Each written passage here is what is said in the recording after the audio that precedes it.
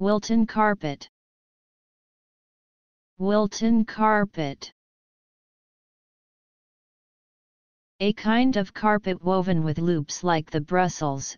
but differing from it in having the loops cut so as to form an elastic velvet pile, so called because made originally at Wilton, England.